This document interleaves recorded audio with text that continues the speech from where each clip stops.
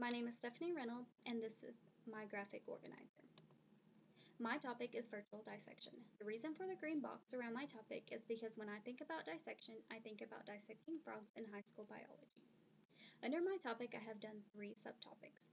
They are what is it, benefits, and assessment. First, we'll begin with what is it. The reason for the gray and purple box around what is it is because I was first introduced to virtual dissection while in a biology class at UCA. Under what is it, I have decided to compare and contrast traditional dissection and virtual dissection.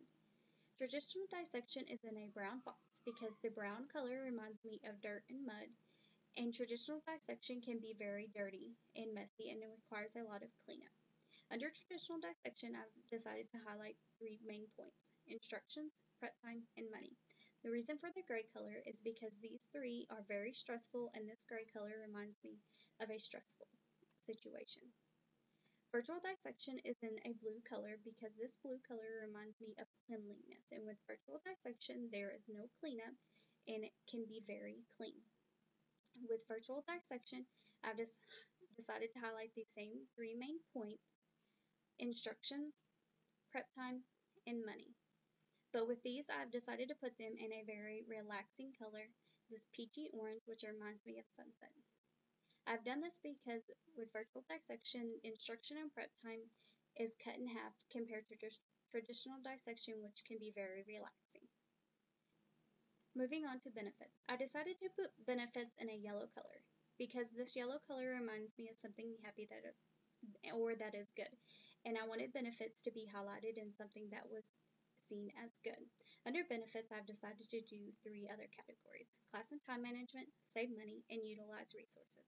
I've also decided to do three these three subcategories in the same yellow color to associate them also with something that was good. My last subtopic is assessment. The reason for the red box around assessment is because when I think of assessment, I think of testing the knowledge of students. And with this, I think of grading papers and using the dark red ink pen to grade those papers. Under assessment, I have decided to do two categories. One of those categories is summative. I've, also with summative, I've decided to stick with the red color since summative is like testing the knowledge of students in other ways than instruction. My second category under assessment is formative, and with formative I've decided to go with the green box. Since formative is like the instruction and class time, I decided to stick with the color of the topic, which is virtual dissection. Under summative and formative, I did the next generation science standards. I had put this in an orange box because when looking on the website at these standards, they are displayed in an orange box similar to this. I've also added the link to the standards for this specific subject. Under that, I have added the Common Core that link these two standards together. I have the Common Core standards in a blue box.